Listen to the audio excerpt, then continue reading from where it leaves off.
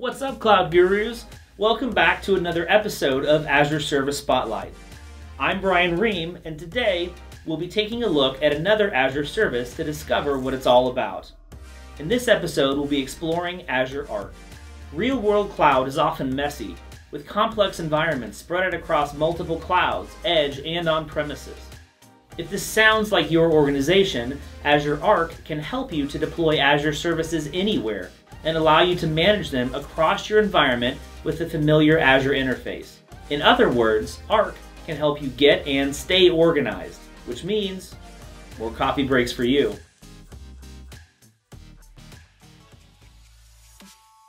In its current state, Azure Arc delivers three capabilities. Well, two of the three capabilities, but we'll talk about that more in a minute. With Arc Server Management, you can manage virtual machines and physical machines running outside of Azure. This can be on-prem or virtual machines with other cloud providers. You can also manage and register Kubernetes clusters regardless of where they're located. Finally, you can run and manage Azure SQL and PostgreSQL, including Hyperscale and Kubernetes clusters outside of Azure. Unfortunately, at the time of this filming, this last feature is in preview and requires a sign-up form to request access to try it out.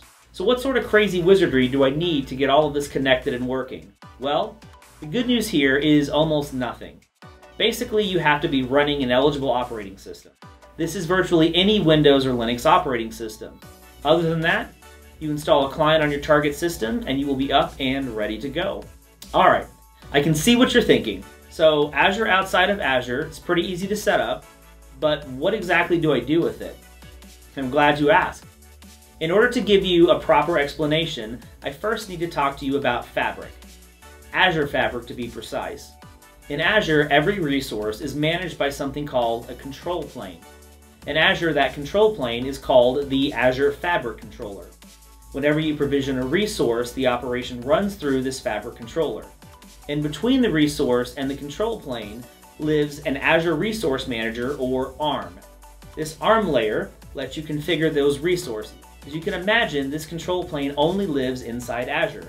You step outside of that, say into AWS or an on-prem server, you step outside of that control plane. And Azure Arc acts like an extension that can expand that control plane to resources outside of Azure. It allows you to push policies, patching, run security audits, automated updates, and gather intelligence on the health of the system, all from within Azure. If you're an ops team trying to manage resources in Azure, AWS, Google, the Edge, and those servers on-prem, man, it can be a nightmare to control the environment, especially if you have multiple departments all controlling different cloud platforms. Arc is the solution to that problem, allowing for the organization and governance across multiple platforms. And don't forget that this is not just servers, it's also Kubernetes clusters as well. Alright, I can see it. You're getting excited, huh? But there's still a couple of skeptics in the back. I can see you shaking your head, saying, yeah, Brian, that sounds awesome, but how much is it? Unfortunately, the answer right now is I have no idea. It's still in preview, which means it's completely free right now. Down the road, that's obviously going to change, so it's definitely something to keep an eye on. By now, you probably have a decent feel for what Arc is, but seeing is believing. So let's transition over to take a look at Arc in action.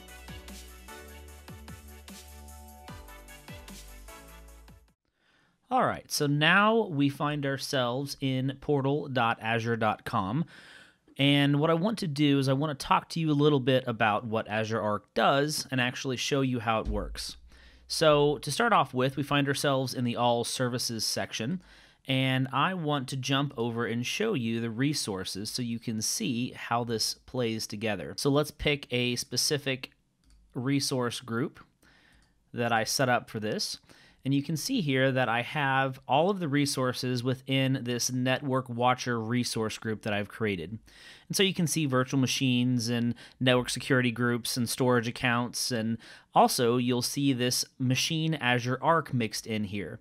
So this is actually an Amazon Web Services virtual machine that I have configured and installed Azure Arc software on. So we are actually looking in Azure at our resource group and we can see a combination of all of our resources. So if I threw Google virtual machines in here or I threw servers from an on-premises network, you can sort and see all of those right within your normal resource tab in Azure. But let's jump over and take a look at how Azure Arc works. So you can access it just by searching for the resource. And you can see here that we can create a managed server. So we're going to go ahead and do that. And it will pull up the one resource that I had already linked that I just showed you. And let's go ahead and add in a second one so I can show you how that works. So to do it, we just simply go to the Add Machines, Generate Script button. We're going to choose our resource group, and we can set proxy servers and things like that if we're interested, and of course set tags. But for this case, I'm going to go ahead and just come down here, and we are ready to go. It's actually generated my script. This is the script here. And now we're ready to go ahead and install that on our machine. So I'm going to transport you from Azure into AWS, and you can see here that I have installed a T2 Micro virtual machine. And so I'm going to switch over and show you that virtual machine now. It's a Windows 2019 server. And so we'll transition over, and now we find ourselves in this server. And to get this to work, I just need to install that software and I can do it by simply going to PowerShell. And of course, there's multiple ways to get here, but you can do it quickly just by using PowerShell. And so I'm going to show you that way now for convenience sake. So let me just grab this PowerShell window and drag it over so we can see. So let me copy that script and paste that in here. And so it's going to go ahead and download the package that I need and install it here. So you can see those are those two commands. So PowerShell is going to work and it's finding the files that I need and installing those. And you can see that it's already pre-filled in my resource group, my location, my subscription ID, all the things that I need to have to make this work. And so that quick, what we've done is we have downloaded the package that we needed. We have installed the package using this command. And then we have run a connect command to connect that to our resource group, tenant ID, location, and subscription ID. And all that's left to do is simply sign into a web browser. So I'm going to just simply grab this page here. There is my window. So I pulled up that website, pulled it over here, and then I'm just going to grab this code here and paste it back into my web browser. And then I need to log in to my Azure machine. So I will pull this back over, log into my Azure machine, and then we'll jump over and finish out this connection. Okay, and now you can see that we have connected our machine agent. So switching back over here, we're actually all done. I can click back to Azure Arc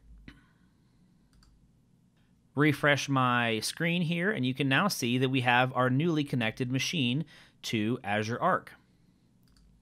Now, what makes this extremely cool is after clicking on it, I can actually go in and you can see I can push policies, can manage access control, if I wish to in monitoring, I can set up insights and logs so I can actually see what's happening in my virtual machine, just like I would with the rest of my virtual machines in Azure. So it's that simple. That was about three minutes for us to stand up this entire thing, and we now have another connected service within Azure Arc. All right, so having said that, let's jump back over and finish out this episode by talking about whether we should invest evaluate, or revisit this service.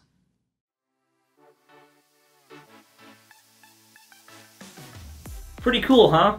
So now that you've had a chance to see ARC in action, it's time for the verdict. Should you invest, evaluate, or revisit?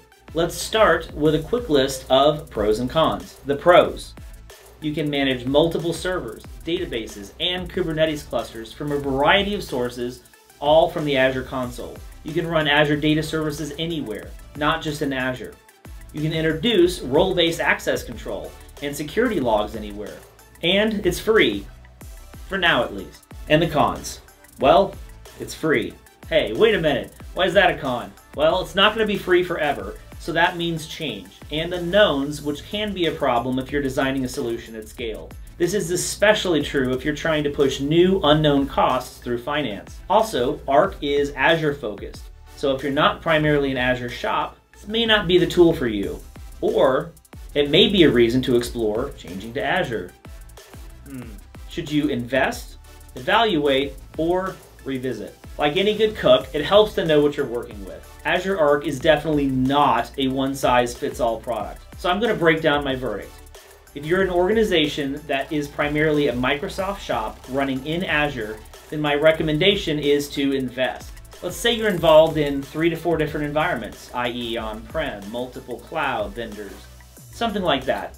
And you have a dedicated ops team that works to push policies and manage the environment. Then Arc can be a fantastic time saver and a worthwhile investment. However, let's just say that you're dipping your toe into the cloud pool or you have a very small footprint. ARC might be an evaluate, and you definitely should evaluate right now. I mean, it's completely free, right? Finally, if you rarely, if ever, leave the Azure space, or truly have a split infrastructure with security and ops management as separate entities in Google and Azure or on-prem in Azure, then I'd suggest revisiting Arc. It may not be for you right now, but it could be in the future.